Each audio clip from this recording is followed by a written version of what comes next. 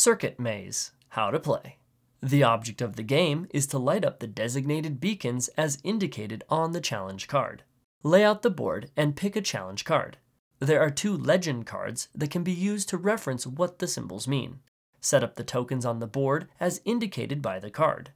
Tokens must be oriented identical to their image. If a token has a rotation symbol on it, then that token may be rotated in order to find the correct solution, Otherwise, the tokens may not be rotated.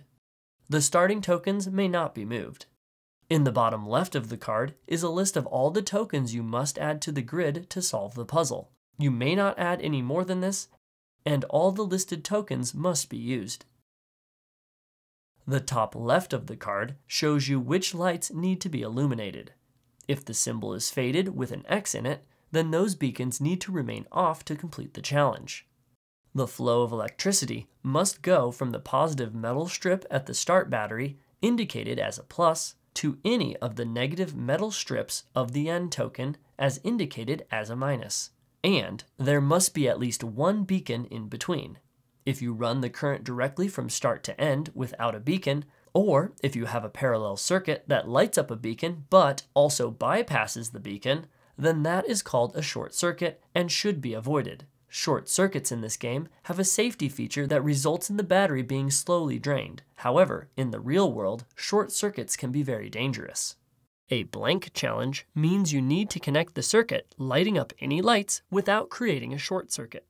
Beacons only light up when current flows into the positive side as indicated by the plus, and out of the negative side as indicated by the minus. Current can only flow in one direction through these. If that direction is correct, then the light will illumine. The gray tokens carry current along their metal strip in either direction, based on how they are oriented. The switch token allows you to move the lever to the side of the token for where the electricity will flow.